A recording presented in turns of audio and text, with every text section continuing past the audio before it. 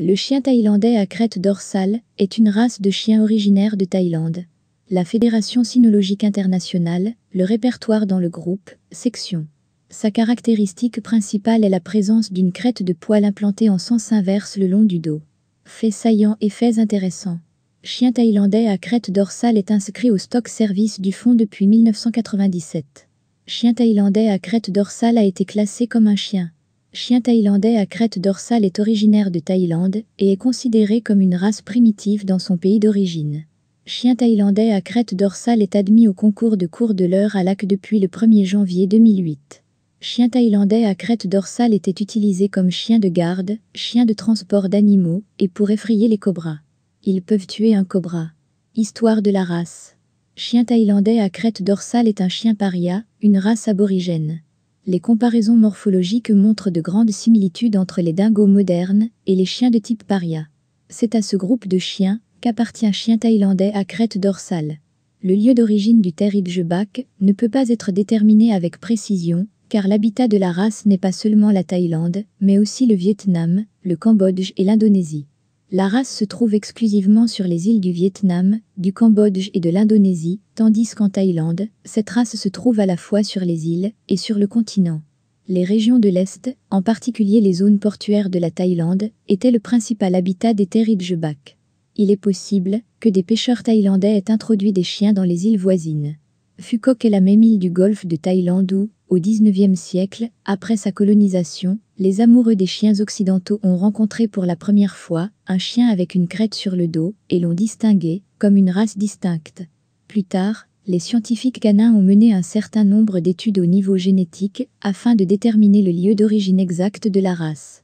L'étude a révélé que les chiens vivant en Thaïlande sont d'origine plus ancienne que les chiens similaires trouvés sur les îles du Vietnam et du Cambodge.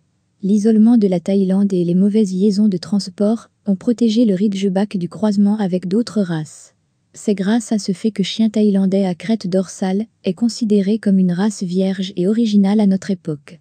Pour les habitants du pays, en particulier les pauvres, le chien était un élément très important de la vie, car le ridgeback, grâce à sa vitesse unique et à son intelligence exceptionnelle, pouvait chasser indépendamment de petits animaux, principalement des lapins, se nourrissant ainsi lui-même et le propriétaire. Famille. Et ayant une taille impressionnante, il a également joué le rôle de gardien de maison et a également débarrassé le logement du propriétaire de ravageurs tels que les serpents et les rats. Malgré son origine ancienne, la race n'a été officiellement reconnue que récemment. En 1989, la race a été reconnue sous le nom de Terijubakdo par l'Asian Kennel Union et en 1990 par le Kennel Club of Japan, qui est considéré comme l'organisation mère dans les pays asiatiques et est membre de la Fédération cynologique internationale. En 1993, la FCI a reconnu la race sur une base temporaire et dix ans plus tard, sur une base permanente. Apparence Chien thaïlandais à crête dorsale est un chien de taille moyenne, de taille athlétique, aux poils courts formant une crête caractéristique, le long du dos, une bande de poils poussant dans la direction opposée. Une crête, peigne de laine, est formée sur la partie supérieure du corps à partir des poils poussant dans la direction opposée au reste de la laine. La crête doit être clairement séparée du reste de la couche. La crête est disponible dans une variété de formes et de longueurs, mais elle doit être symétrique des deux côtés de la colonne vertébrale et ne doit pas se croiser sur les côtés. Les boucles de cheveux sur l'extrémité avant de la crête sont autorisées. La hauteur au garrot d'un chien est de 56 à 61 cm, celle d'une femelle de 51 à 56 cm. Un écart jusqu'à 2,5 cm dans les deux sens est autorisé. Le poids moyen des mâles est de 28 à 32 kg, les femelles sont nettement inférieures aux mâles en poids en raison d'un dimorphisme sexuel prononcé.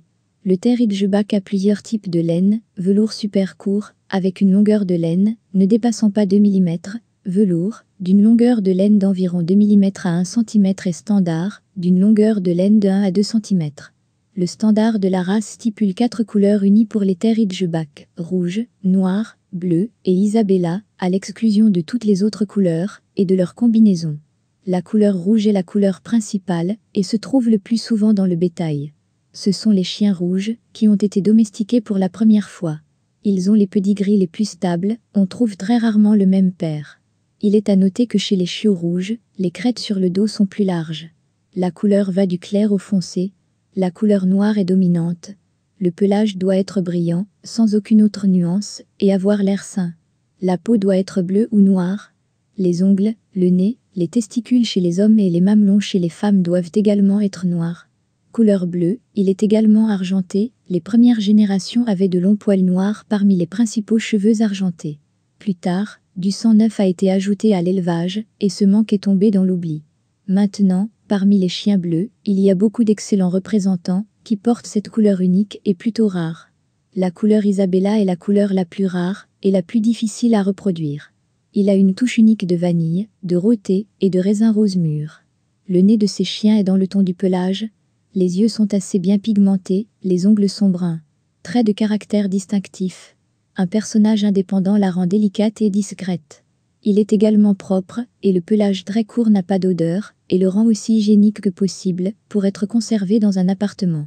Ce chien n'entrera pas en contact visuel avec quiconque y prête attention.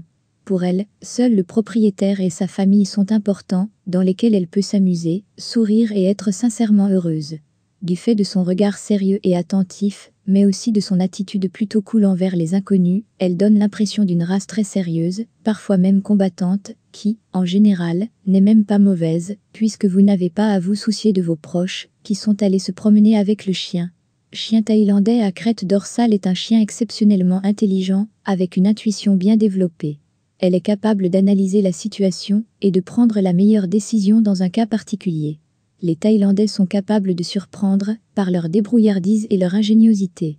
Mais cela crée parfois des difficultés d'entraînement, car le Ridgeback peut ne pas vouloir suivre bêtement les commandes.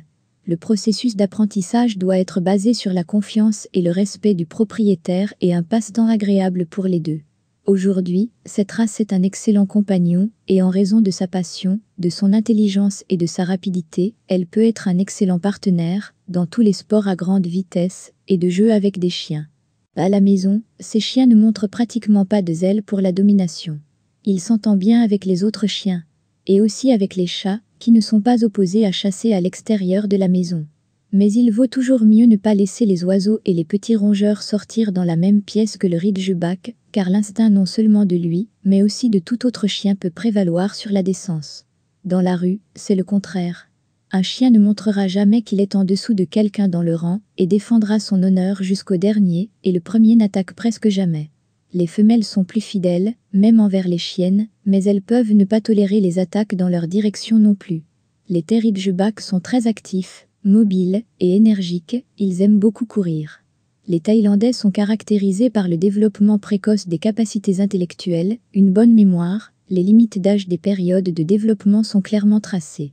Ils adorent apprendre de nouvelles choses, mais ils s'ennuient de répéter les mêmes techniques encore et encore. Ils sont observateurs, avec une capacité à imiter bien prononcée. Ils ont une tendance relativement précoce à l'indépendance et à l'indépendance, en général, leur comportement est plus organisé et complexe que celui de la plupart des races non indigènes. Chien thaïlandais à crête dorsale est un très bon compagnon. Ses caractéristiques physiques lui permettent de se livrer à toute activité canine en compagnie du propriétaire. Maintenance et entretien. Chien thaïlandais à crête dorsale s'épanouira avec de la nourriture pour chien de qualité. Tout régime doit être adapté à l'âge du chien, Certains chiens ont tendance à être en surpoids, alors gardez un œil sur l'apport calorique et le poids de votre chien.